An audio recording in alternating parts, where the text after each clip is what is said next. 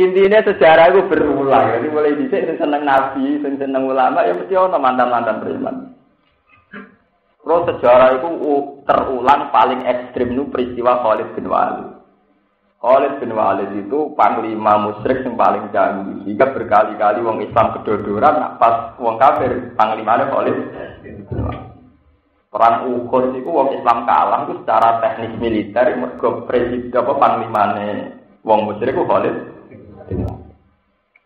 Nah dari tarik-tarik zaman sampai tidak itu mereka pasukan sahabat medun ke gunung. Itu saya tak nambahi sitok dan karena wong musyrik dipimpin oleh. Jadi tak tambahi ilmu sitok. Jadi pas sitok. Wala nabe to, ape to ini kiai apian nabe. Jadi kesalahan pertama mergo rumah tu Rasulillah, pemanah-pemanah iku orang nuruti instruksine Kanjeng Nabi kon tetep ning dhuwur napa? Gunung. Tapi sing kedua mergo pancen wong kafir dipimpin wong canggih jenenge Khalid bin Walid. Lah sampean bener teori iku. Nah, teori awal ya bener teori yang kedua, Pak. Artinya ngeten, Khalid bin Walid itu ngerti. Barang wong Islam ning dhuwur gunung rak pemanah. Mana kau dhuwur pengisor nak nemen gampangnya, paham gitu. Tapi nak kau ngisor berdua rabut, wong ora ora bedil, panas. Bedil ngono ngisor berdua temati. Wes, Khalid pinter. Dia kesannya lari kal. Jadi balangane onto jarang amat. Di itu apa sih kasus sih bapak? Dia amat barang yang gelem ya. onto, pokoknya gue nih bagus nih mulai onto, tapi termasuk amal. Itu di dua kok ini nyisor kesane kalah. Lah sahabat itu kan terus tertarik wong kafir wis kalah berarti tinggalannya jadi goni do medu. Bareng do medu jebule tak patukane gak lari kok muter. Muter, jadi misalnya sahabat medun ke wetan, Khalid tak balane muter ke kulon munggah. Bareng wis ning dhuwur manahi sing lagi jupuki. Ya penake ra karuan. Walhasil akhirnya wong Islam keyo. Yo mergo saking pintere tradisine Khalid. Artinya medune wong Islam sangka dhuwur gunung. Niku di sepuro pangeran. Mergo Allah pirsa ora krana nyulayani nabi. Dadi niate medun ora krana nantang nabi. Nabi kan ngendikan piye wae aja medun ke gunung. Tapi ketika sahabat nyatane medun, Allah maklum. Mergo medune ra niat bantah Nabi, mau mripate ijo roh duwe. Paham ya? Jadi saya itu beda partai, itu ora krana nglawan kiai ini, delok prospek. Mergo nak melok partai kiai ini mau anggota, nak melok partai anyar nak menawa dadi pengurus. Ngono iku wis ana sejarah ya, wis kuno. Mulane Allah rodok maklumi, ora pati diseneni teman-teman. Mergo medune kok gunung ora niat nantang nabi. Mau mripate ijo rohone ora terbersit niat nantang nabi, pokoknya spontanitas rohone mamet medun. Jadi spontanitas mergo ana sing nawani partai prospek melok ora niat nglawan kiai. Kiai. Mboten enten banian nglawan mboten enten. Rasa dipasukno. Paham ya? Niku wis kuno sejarah. Wah, akhirnya Khalid bin Walid wis ning dhuwur karek mana. Akhirnya wong Islam ke Bon Bareng Khalid bin Walid masuk Islam, lagi pentingnya mantan gendul. Dia ini tobatnya apa itu?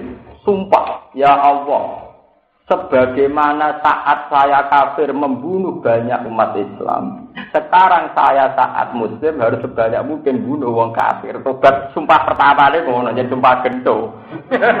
sumpah pertama itu rapi dakwah kata hajut. sumpah preman nak ngotot nanya sumpah gaya pre. Ya Allah, karena saya saat kafir sering bantai umat Islam, tobatku loh saat Muslim sering bantai wong kafir. Akhirnya dia semangatnya raka karuan nak perang, semangat bang. Yo ini tenan pasukan Islam semenjak dipimpin Khalid bin Walid. Wong tahu Nabi ku jajal tahu perang dipimpin sahabat soleh. Jadi ku Ubaidillah bin Jarrah. Niku yo keok dipimpin sapa nah yo keok. Akhirnya Nabi terpaksa ngecol mantan preman Khalid bin Walid. Jadi Nabi piyambak secara moral keagamaan yo seneng panglima dipimpin Khalid. Mergo killer. Pembunuh. Tapi bareng dipimpin wong soleh, misalnya pasukan dengan Mustafa maju nak lawan kalah.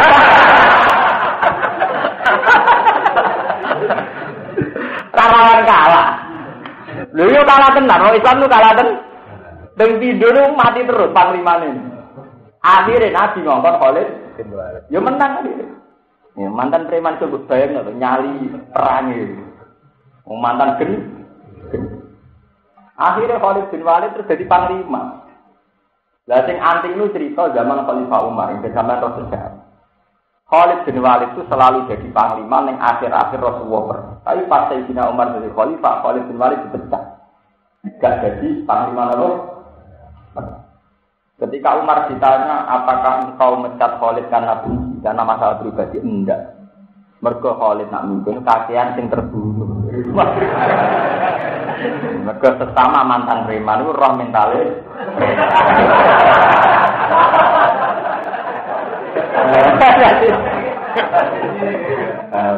Jadi kowe ya do kaget ana mantan kiai atau kiai kok dibilo mati-matian mbek preman-preman. Mergo sejarah itu berulang. Terus berulang mana yang cerita wali songo. Itu terkenal ini sejarah kali Jogo mantan preman mantan presiden. Bareng diwalek nabi Sunan Bonang itu jadi panglima per Akhirnya Demak Bintoro jadi negara. Mereka panglimanya ya mantan preman. Jadi negara Islam itu kanjar tapi mantan. Lah iku dari pangeran wong saiki wis tobat wa aslaha sagep ae Pak Andau ghafurur rahim. Mboten nang ora ilmu iki pokoke ngono. Kok repot. Wala sekolah terus nabi soalnya ngono iku cerita. Kena apa urutane ayat kok wa idza ja'akal ladina yu'minuna bi ayatina Fakul salamun alaikum kata rabbukum ala nafsihir rahmat. Mergo annahu man amila minkum su'am bi jahalatin Sumata babadi wa aslah apa anahu kofurur. Terus wa kadzalika nufassilul ayati wa litastabina sabilul musyrikin.